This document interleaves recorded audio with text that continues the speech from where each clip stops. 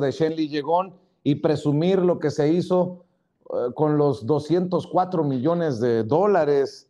Eh, bueno, eh, creo que se le olvidó a Felipe Calderón que Shenley Llegón acusó a su gran amigo Javier Lozano, el que fuera su secretario del Trabajo, de amenazarlo con o copelas o cuello. Escuche. En uno de los decomisos que hicimos contra la delincuencia y el narcotráfico, en una casa decomisamos dólares en efectivo. ¿Cuántos? 204 millones de dólares en efectivo. La mayor cantidad que se haya decomisado probablemente en el mundo. Y con ese dinero construimos, por ejemplo, más de 300 clínicas contra las adicciones para los jóvenes que habían caído en los centros de nueva vida que creamos. Y creamos más de 10 mil espacios comunitarios nuevos. Allá donde había nichos de delincuencia, donde había, donde se juntaban, por ejemplo, adictos, donde se juntaban criminales, limpiábamos la zona, hacíamos canchas de fútbol, de básquetbol, espacio para adultos mayores, vigilados, con cámara, con policía, y eso reconstruía las comunidades, le llamamos espacios públicos recuperados.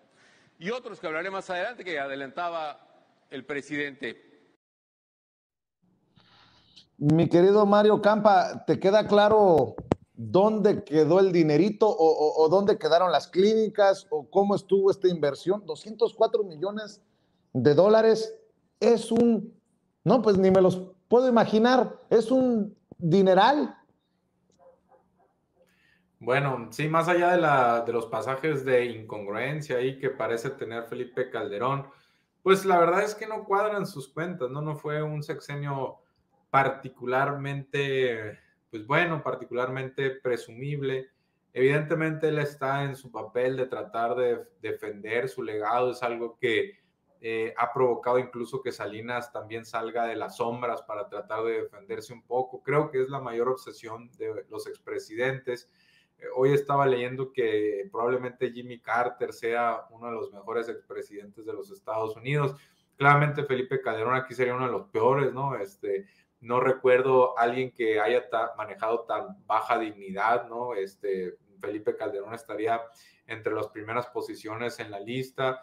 Eh, creo que le está afectando mucho a su partido, también a Margarita eventualmente le va a afectar. Y, básicamente se trata de eso, ¿no? De defender su legado, una ansia de protagonismo, cierto eh, egocentrismo que lo hace hablar y hablar y hablar en vez de dedicarse a otras cosas, ¿no? Él lo dijo que le interesaba seguir activo en la política porque se veía todavía muy joven, en alguna entrevista con Adela Micha creo que lo dijo, eh, y pues aparentemente no tiene pudor alguno en seguir en seguir en la batalla, ¿no? Eh, por supuesto, esto eh, en algunas cuestiones está marcando precedente porque en la historia moderna de México no se había visto un expresidente tan activo, ¿no? Y Felipe Calderón lo está haciendo y es algo que también lo ha hecho Aznar en España, ¿no? Es, Aznar también se ha involucrado mucho con el Partido Popular, incluso algunos le atribuyen parte del surgimiento de Vox, ¿no? Entonces, por ahí, el hecho de que Felipe Calderón también se esté aliando con las derechas o en algunos casos extremas derechas internacionales, europeas, pues eh, debería preocupar a más de uno en México porque pues eso puede hacer que eventualmente haya también un contagio algunos de los partidos en México. Eh, pero bueno, pues nos toca aquí analizar lo que está diciendo Felipe Calderón y pues la verdad es que su sexenio dejó muy malas cuentas y que básicamente todo lo que dice em, está o exagerado o sacado de contexto o forma parte de una responsabilidad esencial del gobierno como para venderlo como un gran logro, ¿no? En algunos, en muchos casos su presidencia fue inercial, en otras hubo graves retrocesos, particularmente en seguridad, en relaciones internacionales no hubo mayores avances. Entonces, Felipe Calderón, si quiere defender su sexenio, pues tendría que darse cuenta que nadie más lo está haciendo. Y si nadie más lo está haciendo, pues ahí tendría que eh, verse él en el espejo y decir, bueno, quizá tengo que replegarme un poco, ¿no? Y ese afán de protagonismo, ese, esa soberbia, ese narcisismo de Felipe Calderón lo lleva a llevar, eh, lo, lleva a literalmente tirar bajo el autobús, llevarse entre las patas Vicente Fox. Quiero que escuchen estas declaraciones, mi querido Rafa, ya me das tu, también tu opinión, porque habla de cómo le dejaron un desmadre a él, pero el que llegó, el que dejó el desmadre también era de su partido y era Vicente Fox y malagradecido, metió las manos donde pudo Vicente Fox para que se consumara el fraude y llegara Felipe Calderón a sucederlo en la presidencia y que no alcanzara a llegar el hoy presidente Andrés Manuel López Obrador. Esto es lo que dijo. Adelante. Cuando entramos parece que cayó la tormenta perfecta. ¿Por qué? Porque teníamos, por ejemplo, una violencia brutal en el país, que era desgraciadamente conocida mundialmente. ¿Qué estaba pasando? Un poco les platico. Había una política que era dejar hacer, dejar pasar, que era hacer que los criminales hicieran lo que quisieran, no te metas con ellos, vete adelante. Algo que por desgracia está volviendo hoy a México con una serie de calamidades inenarrables. Ya platicaremos de ello.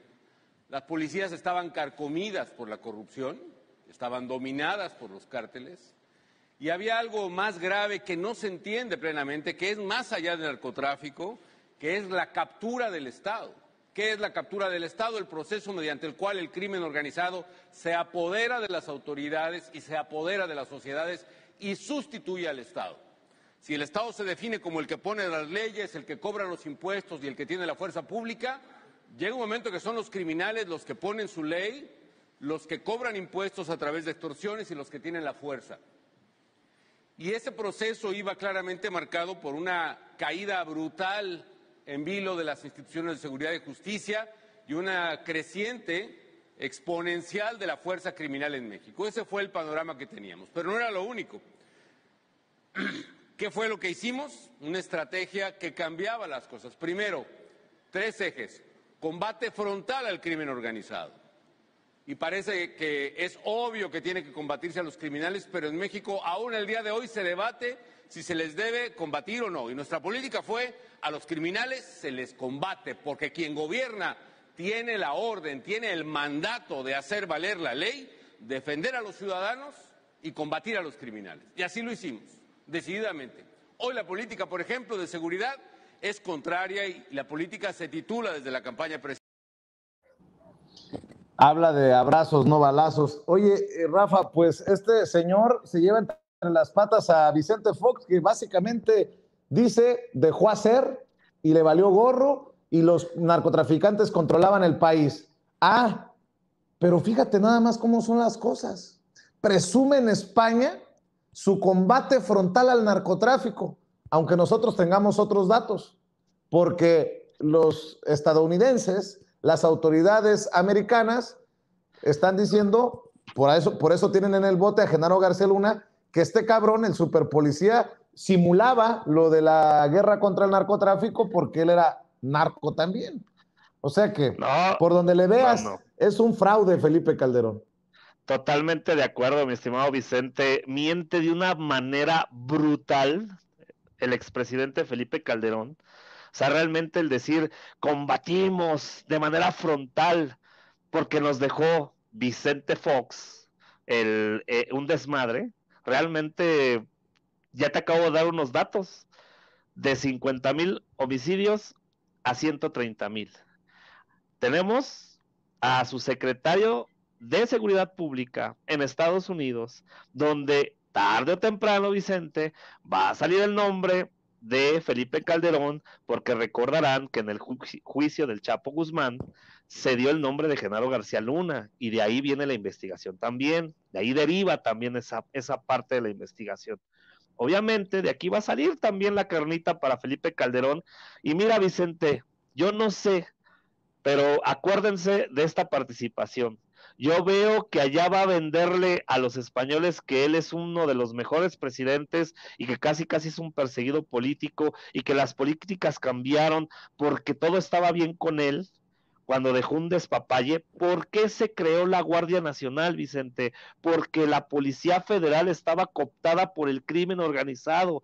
Por eso se cambió y se eliminó a la Policía Federal para llegar a la Guardia Nacional y generar un nuevo contexto, una nueva organización que realmente tuviera las bases y los fundamentos para que realmente lucharan contra el narcotráfico. Todavía falta mucho por hacer. Yo les decía en una intervención en otro día, desgraciadamente era un cáncer que cuando llega Andrés Manuel López Obrador ya se volvió metástasis. El país está lleno de inseguridad y violencia por lo que hizo Fox, por lo que hizo Calderón y por lo que nunca hizo Peña Nieto, porque hay que recordar que Enrique Peña Nieto no tuvo estrategia de seguridad, a él no le importó absolutamente nada, siguió con lo mismo. Ahora, Felipe Calderón se está vendiendo con estos personajes. Te apuesto, Vicente, que se va a ir a refugiar a España. Vas a mm. ver, porque ya le debe haber besado hasta la mano al, al rey de España, cabrón. Eh, la mano o el anillo, mientras no sea. En fin, mi, querido, mi querido Rafa. A ver, y para